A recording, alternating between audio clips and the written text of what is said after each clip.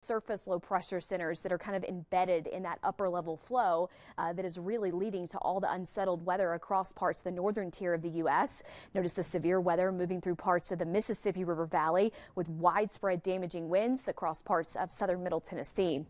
We have still got uh, just a few lingering snow showers across northern Colorado from Fort Collins north into Cheyenne, Wyoming. Uh, that is all due to the energy in this upper level flow that's kind of clipping northern Colorado. No widespread accumulations for lower terrain areas expected this evening, uh, but we will have an additional four to six inches for higher terrain locations such as Vail, Breckenridge uh, until about midnight tonight and some additional snow showers for tomorrow. Notice though, winds are still gusting about 32 miles per hour at this hour in La and around Las Animas, uh, where those uh, fires are still uh, burning. Of course, you'll notice that red flag warnings are in effect until 7 p.m. And then again for tomorrow, we'll have another round of red flag warnings, which of course means that high fire danger.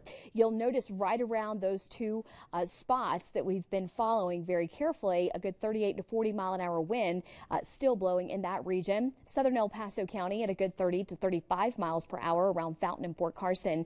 As we move through the overnight time frame, winds are a little bit lighter, but notice as we get into Thursday afternoon, another round of some 30 to 40 mile an hour gusts possible across the eastern plains and a west wind. So that west wind will help to dry us out even more. We already have dry fuels in the region, but you can make it even drier uh, with the actual air quality or the air around uh, those dry fuels when you have those west winds downsloping uh, across the mountains and coming down off the mountains. That really uh, decreases the relative humidity uh, substantially. Uh, notice though, as we move through the evening time frame, no snow showers expected. We will have another nice little burst of snow tonight and early tomorrow morning across the central mountains. That is about it though. We'll have a mix of sun and clouds for tomorrow with temperatures in the 40s for parts of Woodland Park, 51 in Monument, 59 in Colorado Springs, so a little bit closer to seasonal for central El Paso County for tomorrow with highs in the 50s to near 60 degrees. And those west winds will warm us up as well across the eastern plains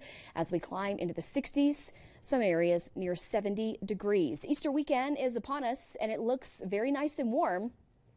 We are going to be a bit breezy though on Sunday. Winds will start to kick back up about 30 mile per hour gust as we approach the holiday weekends. It does look a bit calmer on Friday and Saturday, but another round of some high fire danger will be possible for Easter Sunday. Now, if you're venturing out and about for sunrise service, probably won't be a huge deal in the morning, but the afternoon hours uh, will likely give us some gusty winds uh, on Easter Sunday. So, you know, means you have to load your Easter basket up with more candy, as Bart said earlier.